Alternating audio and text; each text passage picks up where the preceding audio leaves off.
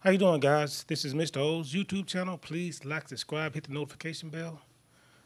Um, I got some bad news on um Monday evening. Um, my sister sent me a long text message, and then I talked to her for a few minutes, and then I talked to my mom in uh, my little small town of only 300 people. Unfortunately, a tornado came through there, and um, kind of ripped the town apart uh, bad. I mean, it's a sm- small town to begin with. Uh, like I said, only 300 people, if that. And um,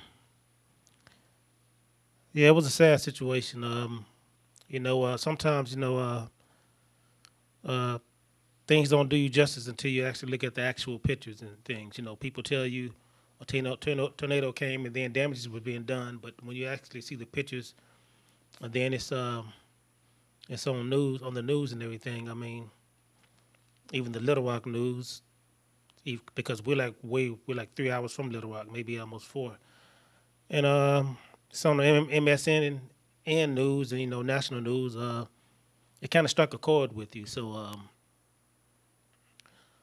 um, you know, it's just um, I don't know, man. It's it's it's no way that you could uh, be prepared for something like that.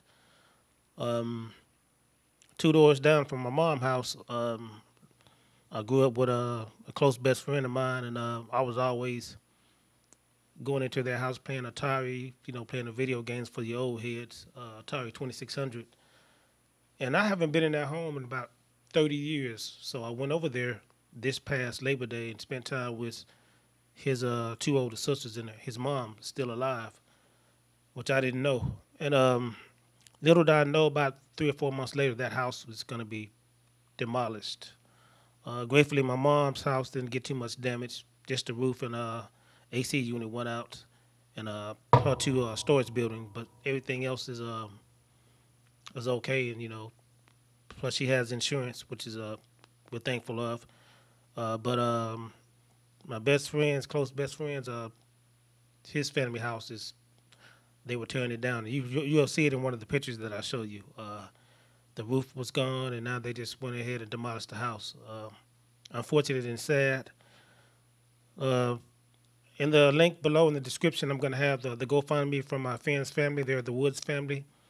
Uh, if you could donate anything, you know they don't have anywhere to stay right now. Uh, my mom's electricity back on. Thankful, and I'm blessed that she's back. You know, I'm, I'm grateful that no one's got hurt in the town. There was a lot of damages, but no one got hurt. Um, the pictures I show you is the only one that I could gather uh, on YouTube. It's uh, it's some other pictures uh, that's worse than that. You know, cars turned over and it's real bad. But you know, due to cop- copyright issues, I can only get so many. Um, but uh, yeah, if you guys could donate anything to the GoFundMe and the link, I would appreciate it. And uh, my little town is called Montrose, Arkansas, and uh, it was a tornado this past Monday.